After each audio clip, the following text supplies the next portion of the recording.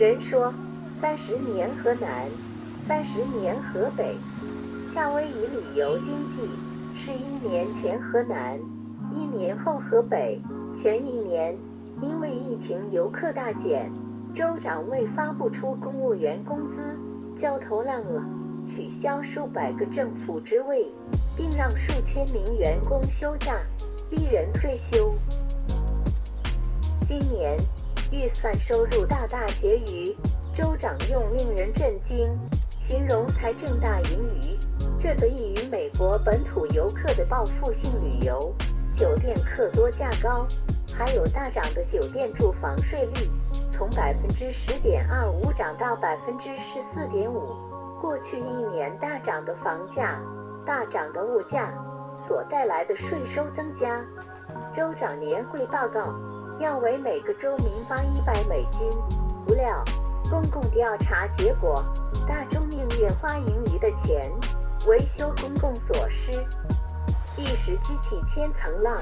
各行各业听说州里有了多余的钱，都跳出来争取。首先是工会部门，要求将最低工资从十美金增加到十五甚至十八美元。说是看旅游区，家家店家告示招人，招不到人，因为夏威夷工资低，生活成本高，低收入劳工们都跑到美国大陆去了。相同的原因。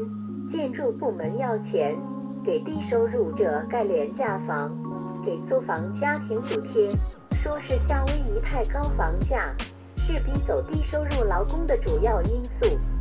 教育部门也要增加薪资，说是去年一千五百多教师辞职，搬去美国大陆奔更高收入工作。为什么夏威夷子弟要到美国大陆上学？学成后？不愿回夏威夷工作，因为夏威夷不重视教育，拨款少，教师工资低，这在美国出名。警察和消防员等中等收入工作者说，他们买不起中位数超过一百万的房子，也要求加薪。创新投资部门提出，这笔钱要花费的聪明，就是要用在夏威夷二点零的方案中。即转化夏威夷旅游经济为数字，it 经济为未来做打算。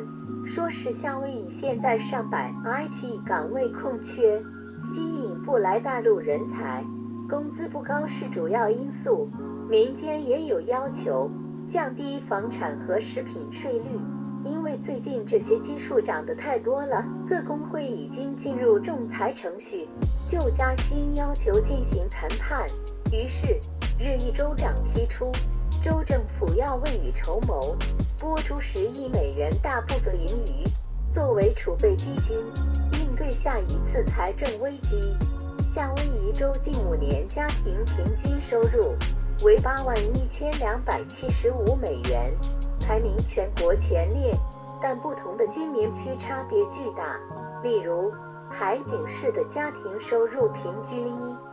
五万美元，贫困率为百分之五十五。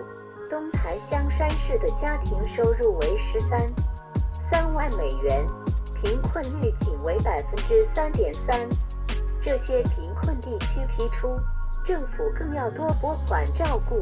看来，钱多钱少都是问题，都让人头疼。